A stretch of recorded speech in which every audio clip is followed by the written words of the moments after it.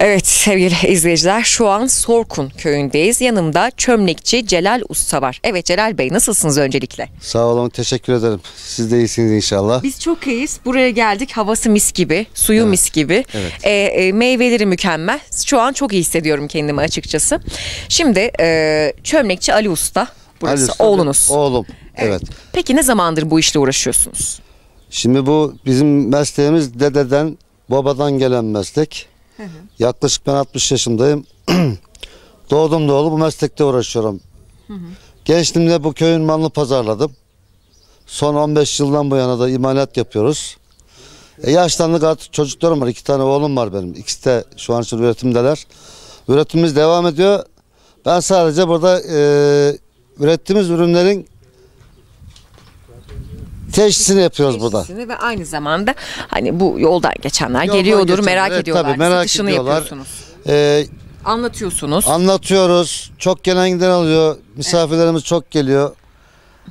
Yani hem emekliliğimizin tadını çıkartıyoruz burada. evet. Yani böyle geçinip gidiyoruz. Hı hı. Tabii siz hep bunları kullanıyorsunuz. değil? Tabii, tabii, normal, tabii. Normal e, cam bardak, plastik bardak falan artık sizi çünkü suyu bile çok soğuk yapıyor ve lezzetli E yapıyor. zaten içtiğiniz zaman fark ediyorsunuz kendiniz. Fark ediyorsunuz. Fark, ediyorum. Buz gibi suyunu yapıyor. Güneşte bilhassa özellikle bu testiler güneşte soğutuyor. Evet. Ha, güne, testiden daha ziyade bizim köyümüzün ürünü çömlekçilik üzerine.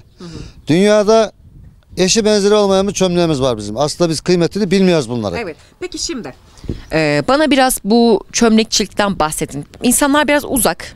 Evet. Şimdi evlerde kullanılıyor ama pek bir Şöyle kişi söyleyeyim bilmiyor. ben. Biraz anlatalım. Şu çömlek şu çömlek dünyanın en kaliteli çömleği. Bu Allah vergisi. Bu Toprak bizim köyümüze vermiş bu Allah vergisi. Bu fırınlanmış. Aygazda pişirebiliyorsun. Yemeğe, Yemek yapıyorsun. Yemek yapıyorsun. ve Güveç le- yapabiliyorsun. güveç yapıyorsun. Hı hı. Ya istersen çorba yap ama tadı başka olur. Lezzet veriyor. Toprak olarak çok lezzet veriyor. Ve artısı güveçte yemek yemek bambaşka bir şey. Tabii ya lezzetli yapıyor. Lezzetli yapıyor. Yediğin zaman diyorsun ya önceki yediklerim neymiş diyorsun. Normal Evet, çelik evet. falan yapınca Evet, güvecin lezzeti. aynen öyle. Bunlar Mesela sarma yap, dolma yap. Oo, tabii.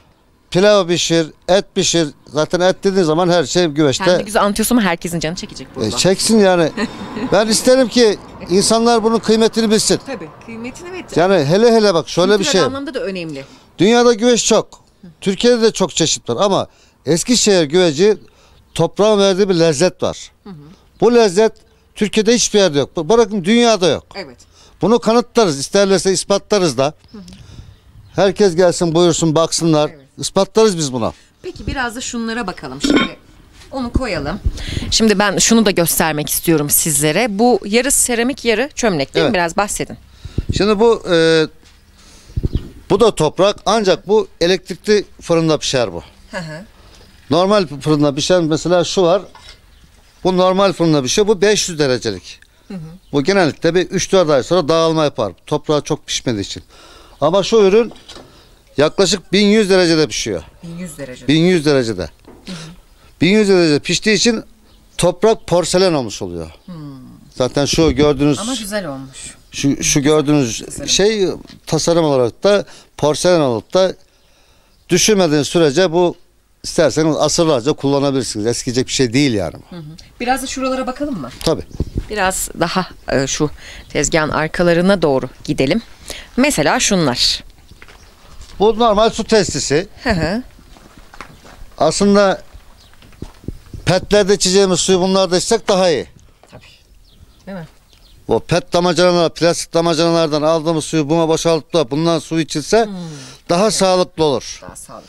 Çünkü pette, plastikte su bozuluyor biliyorsunuz. Çok zararlı ve Zararlı. alıyoruz mesela marketten ya da bakkaldan. Evet. O sular kim bilir ne zamandır bekliyor. Yani evet. Hele hele bakın şurada daha e, şu ileride su damacanaları var topraktan. Hı hı, tamam. Oraya da geçelim buyurun. Hemen. Evet çeşit çeşit gördüğünüz gibi. Yani e, şu şeyler de var. Büyük metaller de var. Onlardan da bahsedeceğiz. Şimdi bunlardan biraz bahsedelim. Bunlar Bunlar su, su tesisi. su bunlar. testisi. Şu da mesela şuraya bir musluk takıyorsunuz. Su damacanası olarak geçiyor bu da. İçinde su koyduk muydu zaman şuraya bir musluk taktığımız zaman suyu bununla da içebilirsiniz. E Bunlar ben su iç. mesela şimdi geldim buraya. E, Şunlardan almak istiyorum. Musluk siz takıyor musunuz? Musluk takarız. Ha, tamam. Sıkıntı değil. Musluk nerede olsa takılır. Biz de takarız. Kolay bir işlem herhalde. değil Çok mi? kolay bir şey. Sadece bir delik deliyoruz, musluğunu takı veriyoruz. Aman, güzel güzel dedi şimdi nazar deyip de kırdırmayalım bir şeyleri. Olan yerde kırılır olsun var. Aman diyeyim. Hı. Evet. Şurada mesela tepsi Heh, çeşitlerimiz şunları var, tava çeşitlerimiz var. Bunlar Bakalım onlara da.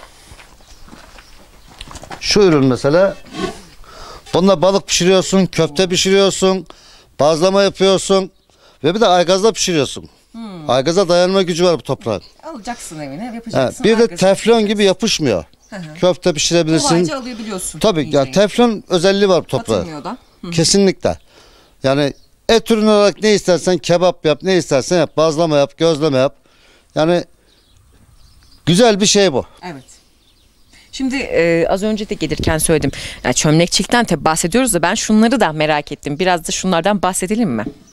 Şunlardan Evet. Onlar nedir? bunlar nedir? Bunlar içine bir parça kömür koyuyorsun. Bunu böyle koyuyorsun. Üstüne çaydanlığı koyuyorsun. Çay içiyorsun bunda. Şu şekilde. He, kömürlü semaver bu. Kömürlü sever. Evet. Çay yapmak için ideal. İsterseniz ben çaydanlığı getireyim bir göstereyim. Yok yok çok sağ olun. Şimdi sizi zahmete sokmayalım. Çaydanlığı üstüne koyuyorsun. Evet. Tamam izleyiciler anlamıştır zaten. Bir parça kömür attığın zaman zaten bu çaydan yani dumanla yapmadığı için balkonda da yapabilirsin veya bahçende de yapabilirsin. Bunlar güzel şeyler yani antika şeyler. Antika. Süs eşyaları var mı böyle çömlekten yapılmış Var. sizde? Bir de, bir de onlar onları gösterin bize. Şu raflarımızdakiler bütün Heh, süs eşyası. raflar da bunlar. var, evet. Evet. Evet. Bunlar küçük bütün küçük. toprak ürünler. Sadece boyal, boyanmış hali. Mesela şu vardır kumbara. kumbara. Ha, evet. Çok güzel. Kumbara. Para kumbarası. Bu daha büyükleri var şöyle. Model model. Değil, Şunlar değişik. Bunlar sarma taşı. sarma Mesela- taşı.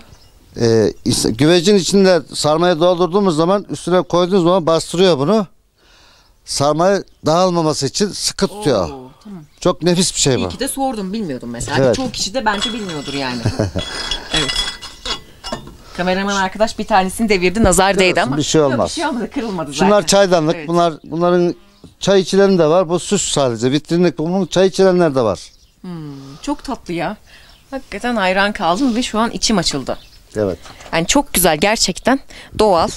Şöyle biraz Bunlar toprak. geçersek. Mesela yel değirmeni. Rüzgara koyduğun zaman orada dönüyor zaten. Döner. Bu durmadan döner. Bahçelerimizde vitrin süsü. Evet. Güzel bir şey bunlar. Evet buyurun ben sizi şöyle alayım. Bir de e, şeyi sormak istiyorum ben size. E, Sayın Celal Bey. Çömlekçilik Miyalıçık'ta şöyle gelin. Yeterince sizce tanıtılıyor mu? Şu an için tanıtılmıyor. Çünkü şimdi e, Miyalıçık deyince insanların hakkını kiraz geliyor. İşte e, Yunus Emre geliyor. Gürleyik Şelalesi geliyor. Ama hani çömlekçilik ya da ipek böcekçiliği tarzı şeyler pek gelmiyor. Yani yeterince tanıtılmıyor galiba. Aslında e, şöyle söyleyeyim. Şu köyümüzün kıymetini hiç kimse bilmiyor. Yani dünyada örnek alınacak bir mesleğimiz var bizim burada. Burada 100 hanedir burası. Hüsayin'in. Evet. Sorkun köyü. Yaklaşık 100 hanenin de hemen hemen %90'ı bütün imalatçıdır. Burada kadınlar da yapar, erkekler de yapar. Burada bir sanat var. Bu sanat gün gün ölüyor. Yani ilgilenilmediği Şunu için sorayım şimdi evet çömlekçi Ali Usta oğlunuz zaten. Evet. O, e, o iş bunları biliyor. Peki ne- gelecek nesiller sizce hani bu mesleğin e, ölmesine sebebiyet verir mi? Mesela lüle taşında şu an gerçekten işlemecilik sayısı çok az yapanlar. Çömlekçilikte durum nasıl? Şimdi yüzde yüzlerden yüzde otuzlara düştü. Böyle bir misal vereyim ben size. Bayağı da bir düşmüş oran. Yani yüzde yetmiş kayboldu. Bö- Bu şekilde olursa en fazla gideceği şu mesleğin 10 sene bilemedin 20 sene diyelim. 20 sene bu, bu köyde böyle meslek olmayacak. Çünkü insanların gücü yetmiyor. Her şey makinalaştı. İnsanlar makine alamıyor. Fakirler. E, Devletimiz buraya bir ilgilense mesela. Peki talep nasıl? Bu gerçekten satışları iyi mi burada? İşler Talep- gidiyor? Talep çok iyi. Yani diyebilirim şöyle söyleyeyim. Avrupa'ya da gidiyor. Dünyanın her tarafına gidiyor. Mal yok. Güveç yetişmediği için e, taleplere kimse cevap veremiyor. Veremeyince de gelen buradan boş dönüyor. Şimdi burada köyümüzde atıyorum 50 bin parça güveç çıkıyorsa zaten burada büyük şehirlerde 3-4 tane vilayette kaybolup gidiyor. Yani gün gün sanatımız ölüp gidiyor. Aslında çok güzel bir meslek, çok güzel para kazanılıyor. Ama zor meslek olduğu için, insanlar makinelaşamadığı için. Biraz sabır gerektiren bir süreç Tabii, olduğu için bu yani. yapımı ondan dolayı. E benim şimdi iki tane oğlum var. E, bu mesleği yürütüyor. Ya hadi onlar şanslı da e, makinelaştılar veya artık her şeyi öğrendiler. E benim çocuğum gibi bu köyde kaç kişi çıkar ki? 10 tane insan çıkmaz böyle. Evet. Çünkü insanların gücü yetmiyor. Evet.